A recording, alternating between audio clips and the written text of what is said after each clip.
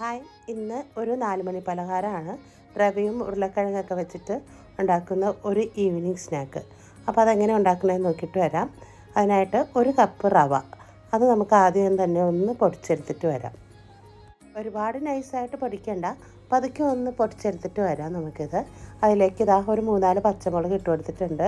പിന്നെ ഇതാ കറിവേപ്പില ഇതുപോലെ ഒന്ന് കീറിയിട്ട് കൊടുക്കാം.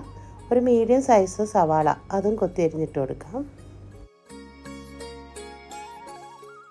ഇനി വേണ്ടത് തൈരാണ്.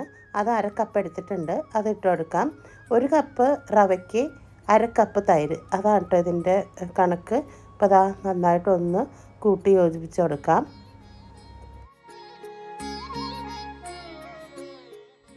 ഇനി ഇതിലേക്ക് ആവശ്യമായിട്ടുള്ള ഉപ്പ് ചേർത്ത് കൊടുക്കാം. ഉപ്പ് കൂടി പോവരുത്. റവ ആയതുകൊണ്ടാണ്. അല്പം മാത്രം മതി ഉപ്പ്. പിന്നെ ബേക്കിംഗ് സോഡ. അത് ഒരു കാൽ ടീസ്പൂണാണ് കേട്ടോ ഇട്ട് കൊടുത്തിരിക്കുന്നത് പിന്നെ ഒരു അര കപ്പ് വെള്ളം അതുകൂടി ചേർത്തെടുത്ത് നന്നായിട്ട് നമുക്കിതൊന്ന് കൂട്ടി യോജിപ്പിച്ചെടുക്കാം ആദ്യം തന്നെ ഒരുപാട് വെള്ളം ചേർത്തെടുക്കരുത്. കൊടുക്കരുത് അല്പം അല്പം ഒഴിച്ചു കൊടുത്താൽ മതി. ഇനി നമുക്ക് വേണ്ടത് ഉണക്കമുളകാണ്. അതൊരു ടീസ്പൂൺ ഇട്ട് കൊടുത്തിട്ടുണ്ട്. എന്നിട്ട് ഇതൊന്ന് നമുക്ക് മിക്സ് ആക്കി എടുക്കാം. ഇനിയിപ്പോൾ ഈ മാവ് ഒന്ന് അങ്ങോട്ട് മാറ്റി വെച്ചിട്ട് ഇതാ രണ്ട് വലിയ ഒരു മീഡിയം സൈസ് പൊട്ടറ്റോ. അത് ഞാൻ നേരത്തെ പുഴുങ്ങി വെച്ചിട്ടുണ്ട്. അത് ഇതുപോലെ ഒന്ന് ഉടച്ചു കൊടുക്കാം.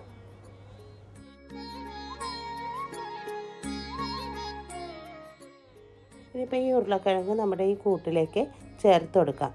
എന്നിട്ട് നന്നായിട്ടൊന്ന് മിക്സാക്കി ഇട്ട് കൊടുക്കണം.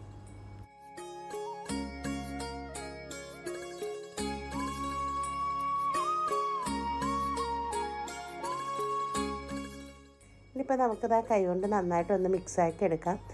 ഉരുളക്കിഴങ്ങും റവയൊക്കെ നന്നായിട്ടൊന്ന് മിക്സാക്കി എടുക്കണമെങ്കിൽ കൈ കൊണ്ട് തന്നെ നമുക്കിത് കുഴച്ചെടുക്കണം. അപ്പോൾ അതുകൊണ്ടാണ് അങ്ങനെ ചെയ്യുന്നത്.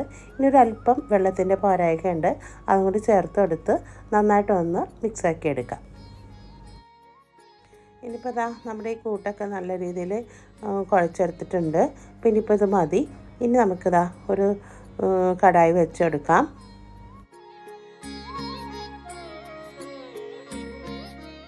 ഇനിയിപ്പോൾ ഇതിലേക്ക് ഓയിലോ വെളിച്ചെണ്ണയോ എന്ത് വേണേലും ചേർത്ത് കൊടുക്കാം. ഞാനിപ്പോൾ ഇതിലേക്ക് സൺഫ്ലവർ ഓയിലാണ് ചേർത്ത് കൊടുത്തിരിക്കുന്നത്.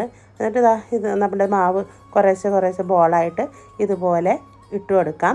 ഏത് ഷേപ്പ് വേണമെങ്കിലും ചെയ്ത് കൊടുക്കാം. ഞാനിപ്പോൾ ഇതാ ഇതുപോലെയാണ് കേട്ടോ ഇട്ട് കൊടുക്കുന്നത്. പെട്ടെന്ന് തന്നെ നമ്മൾ കയ്യിലുകൊണ്ട് കുത്തി ഇളക്കരുത്.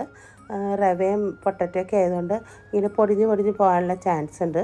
അതുകൊണ്ട് ഒരു ഭാഗം ഒന്ന് മൊരിഞ്ഞതിന് ശേഷം നമുക്കിതൊന്ന് തിരിച്ചിട്ട് കൊടുക്കാം. ആദ്യം തന്നെ നല്ലപോലെ ചട്ടി ചൂടാക്കി എണ്ണ നല്ലപോലെ ചൂടായതിന് ശേഷമാണ് കേട്ടോ ഇതിട്ട് കൊടുക്കേണ്ടത്. അതിന് ശേഷം നമ്മൾ തീ ഒന്ന് ചുരുക്കിയിട്ട് കൊടുക്കണം. അല്ലെങ്കിൽ ഇതിന്റെ ഉള്ളൊക്കെ വേകാനായിട്ട് ഇച്ചിരി സമയമെടുക്കും. അപ്പോൾ അങ്ങനെ ചെയ്തു കൊടുത്താൽ എണ്ണയും കുടിക്കില്ല. പെട്ടെന്ന് തന്നെ നമ്മുടെ ഉള്ളെല്ലാം പൊരിഞ്ഞ് നല്ല ക്രിസ്പി ആയിട്ട് തന്നെ കിട്ടും. ഇതാ ഇപ്പോൾ ഇതാ കണ്ടോ നല്ല അടിപൊളിയായിട്ട് തന്നെ നമ്മുടെ ഈ വട കിട്ടിയിട്ടുണ്ട്. ഇനിയിപ്പോൾ നമുക്ക് ഇതുപോലെ എല്ലാം ചെയ്തെടുക്കാം. അപ്പോൾ എല്ലാവരും ഇതൊന്ന് ട്രൈ ചെയ്ത് നോക്ക്. ഇനി അടുത്ത വീഡിയോ കാണുന്നവരെ എല്ലാവർക്കും ബൈ.